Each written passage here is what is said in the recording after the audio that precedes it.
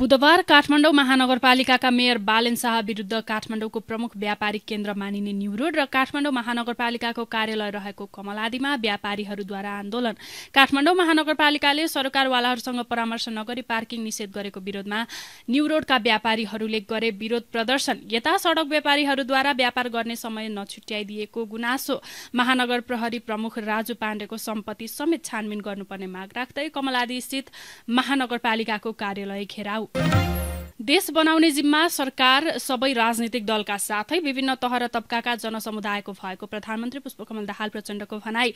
अहिले देशको राजनीतिक आर्थिक सामाजिक सांस्कृतिक र शैक्षिक क्षेत्रमा रूपान्तरणको खाँचो औल्याउँदै यसका लागि राज्यका साथै सबैले जिम्मेवारी लिनुपर्ने उल्लेख। देश बनाउन सबैभन्दा बेस्ट ब्रेनहरू केन्द्रित गर्नुपर्छ भन्ने आफ्नो विगतदेखिकै सोच रहँदै आएको बताउँदै अहिले विश्वविद्यालयलाई राजनीतिक भागबण्डा बनाउनु हुँदैन भनेर विगतको परम्परामा ब्रेक थ्रू गर्न लागि यसमा बौद्धिक समुदायको साथ र सहयोगको अपेक्षा भएको जिकिर राष्ट्रपति रामचन्द्र पौडेलद्वारा संघीय संसदको दुवै सदनको अधिवेशन आह्वान। राष्ट्रपतिद्वारा संविधानको धारा तिरानब्बेको उपधारा एक बमोजिम। आगामी माघ बाइस गते सोमबारका लागि अधिवेशन आह्वान।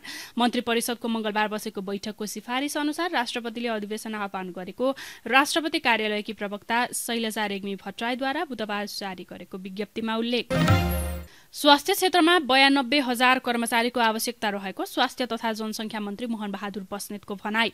बुधबार शुक्रराज ट्रपिकल तथा सरुवारोग अस्पतालको वार्षिक उत्सव समारोहलाई सम्बोधन गर्दै आफ्नो धेरै पहलले प्रधानमन्त्री पुष्पकमल दाहाल प्रचण्ड र अर्थमन्त्री डाक्टर प्रकाश शरण महत स्वास्थ्य क्षेत्रमा बत्तीस हजार कर्मचारी पूर्ति गर्न सकारात्मक रहेको उल्लेख। दुई हजार चौवन्न सालदेखि स्वास्थ्य मन्त्रालयले कर्मचारीको दरबन्दी बढाउन नसकेको जिकिर।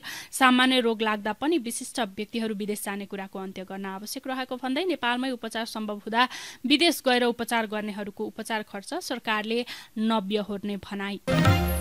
समस्याग्रस्त सहकारी व्यवस्थापनमा सरकार गम्भीर बन्नुपर्ने नेपाली काङ्ग्रेसका केन्द्रीय सदस्य नैनसिंह महरको भनाई। पन्ध्रवटा सहकारीबाट अठाइस हजार बचतकर्ताको बाह्र अर्ब उनान्सय करोड़ चौसठी लाख अपचलन भएको पाइएकाले समस्या समाधानमा सरकार गम्भीर बन्नुपर्ने उल्लेख। पूर्व गृहमन्त्री हुन् वा ठूला व्यापारी जनताको रकम अपचलन गर्ने छुट कसैलाई नभएको महरको भनाई। सहकारी क्षेत्रको नियमनका लागि नेपाल राष्ट्र ब्याङ्क पनि सक्रिय हुनुपर्ने बताउँदै सहकारी सम्बन्धी ऐनमा भएका राम्रा व्यवस्थाको उचित कार्यान्वयन गर्दै दोषीलाई कानूनी कार्यवाही गर्न महरको माग। बालकुमारी र सर्लाहीमा प्रदर्शनका क्रममा सरकारद्वारा गोली हानेर हत्या गर्नु लज्जाजनक विषय भएको लोकतान्त्रिक समाजवादी पार्टी नेपालका अध्यक्ष महन्त ठाकुरको भनाई। सर्लाही र बालकुमारीमा प्रदर्शन गर्दा पनि सरकारबाट गोली हानी हत्या गरिएको घटनाको विरोध। वाक स्वतन्त्रताका लागि लड्नेहरूबाटै प्रदर्शन गर्दा र बोल्दा मार्ने कुरा लोकतन्त्रको पक्षमा नहुने उल्लेख। लोकतन्त्रमा बोल्ने र प्रदर्शन गर्ने सुविधा सबैलाई हुने भनाई। अख्तियार दुरूपयोग अनुसन्धान आयोगद्वारा नेपाल टेलिकमका पूर्व प्रबन्धक निर्देशक सुनिल पौडेल र सुरक्षा मुद्रण केन्द्रका पूर्व कार्यकारी निर्देशक विकल्प पौडेल पक्राउ।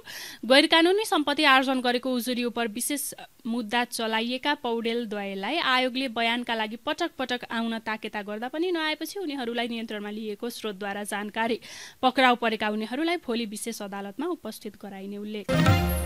केही दिन यता लगातार घटिरहेको नेप्से सूचक बुधबार दस दशमलव दुई पाँच अङ्कले घट्दै दुई हजार अठासी दशमलव शून्य चार बिन्दुमा झर्यो आज कारोबार तीन अर्ब उनानब्बे करोड सत्तरी लाख रुपियाँमा सीमित।